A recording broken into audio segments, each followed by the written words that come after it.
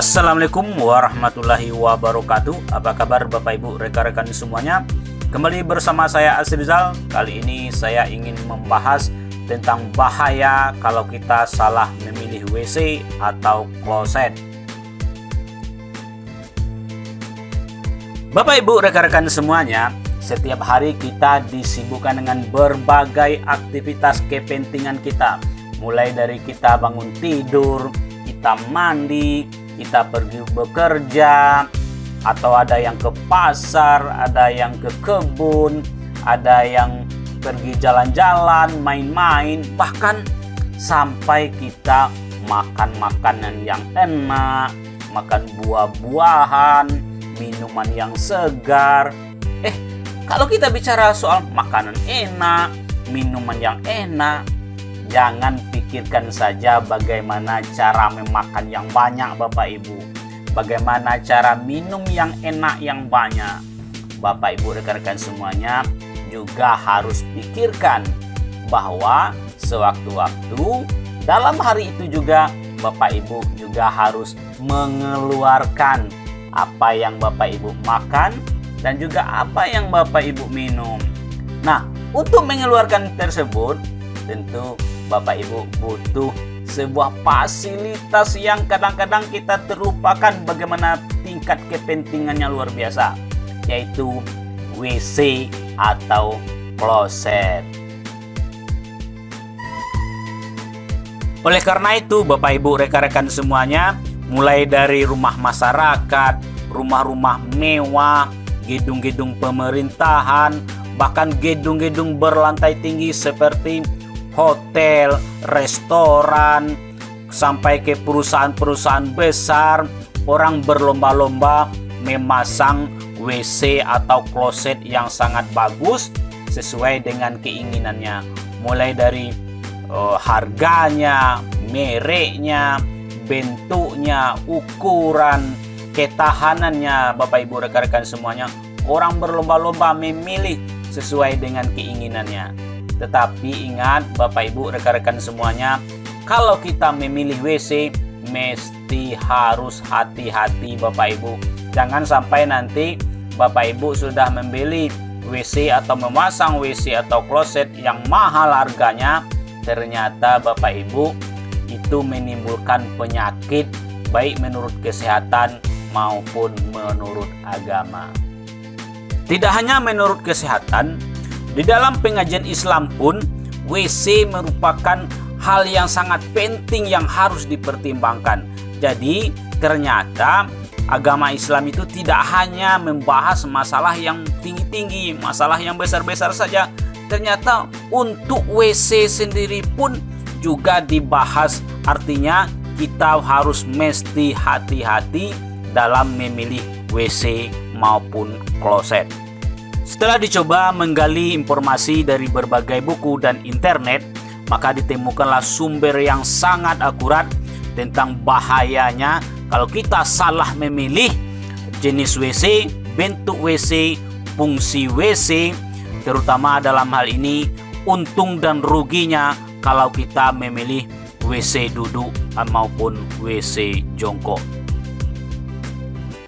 Informasi yang sangat akurat yang bisa kita ambil dari buku tersebut bahwa ada seorang ahli penelitian menyimpulkan bahwa berjongkok atau duduk saat di kloset bisa mempengaruhi proses kelancaran buang air besar maupun buang air kecil. Ketika seseorang sedang berdiri, maka usus besar tempat pase disimpan akan ditekan ke atas oleh otot puborektalis yang menjaga agar fase tidak mengalir keluar sampai saatnya dibuang. Ketika seseorang memakai kloset duduk, maka otot tidak berkontraksi atau menekan hanya sebagian saja sehingga proses buang air besar maupun buang air kecil tidak lancar. Ketika seseorang berjongkok, maka seluruh otot puborektalis tidak bekerja sehingga memperlancar proses pembuangan. Berbeda dengan kloset duduk, buang air besar menggunakan kloset duduk memakan waktu yang sangat lama dan tenaga yang lebih besar bila dibandingkan dengan kloset jongkok. Bila memakai kloset jongkok, sudut anerektal akan membentuk sempurna. Sudut anerektal adalah sudut yang terbentuk di area anus dan rektum, yaitu bagian akhir dari usus, yang merupakan jalur keluarnya fases. Bila memakai kloset duduk, diperkirakan sudut ini tertekuk sehingga fases sulit untuk keluar. Sedangkan bila menggunakan kloset jongkok, usus dan anus berada pada jalur yang lurus sehingga memungkinkan fases keluar dengan mulus. Bila kita sulit untuk membuang air besar, mengharuskan kita mengejan dengan tenaga yang kuat sehingga memakan waktu yang sangat lama. Ada hasil penelitian yang mengatakan bahwa waktu yang lama digunakan dalam kamar mandi dengan kloset duduk, besar harapan akan terjadi penyakit wasir atau pembengkakan pembuluh darah di dalam atau di sekitar anus. Kloset jongkok terkesan lebih bersih daripada kloset duduk karena pada kloset jongkok badan kita atau paha kita tidak bersentuhan langsung dengan sisi kloset. Jongkok juga dapat melatih kekuatan kaki dengan menahan berat badan serta melatih kekuatan panggul. Di segi kebersihan klosetnya juga begitu. Kalau kloset duduk, kotoran kita akan masuk ke sela-sela sudut-sudut kloset sehingga susah dipantau kebersihannya walaupun sering kita bersihkan. Sedangkan kloset jongkok, semua sisi kloset terlihat sehingga terpantau kebersihannya. Bahkan satu kali siram saja langsung bersih. Nah, Bapak Ibu rekan-rekan semuanya, berdasarkan hasil penelitian yang saya baca tersebut, maka bisa kita simpulkan bahwa WC jongkok atau kloset jongkok lebih jauh unggul daripada WC duduk atau kloset duduk.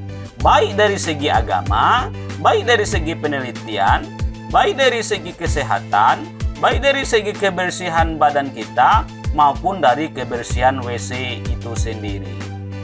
Maka dari itu Bapak Ibu rekan-rekan semuanya, jika Bapak Ibu membangun sebuah rumah masyarakat, rumah mewah, eh, gedung pemerintahan, atau juga gedung-gedung tinggi seperti hotel, perusahaan. Nah, Bapak Ibu harus pertimbangkan tinggi-tinggi matang-matang tentang memilih kloset atau WC.